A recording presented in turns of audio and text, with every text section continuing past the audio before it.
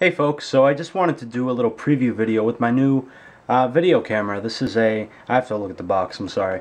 This is a Canon PowerShot ELPH 300HS. It's a great, it's a, it's a really great camera. I love it so far. I haven't had any problems. I got a 16 gigabyte uh, card to put in it, and that can hold 5,000 images, over 5,000 images, or an hour of uh, 720 HD video, which is really good because if I think about it, I don't ever need to record more than an hour. And if I did, I could just buy a more, a bigger capacity card.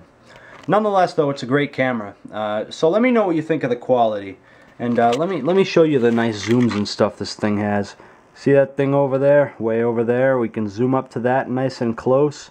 You can't see the Flip Mino HD do that, can you? You can get details from far away. I'm on the other fucking side of the room here. My B&L wall all my colognes, Frylock, and empty aquarium guitar case.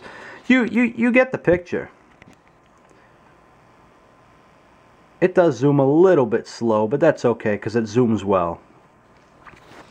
So personally, I don't mind that. So yeah, this is my new camera. Fucking rules. I love that shit.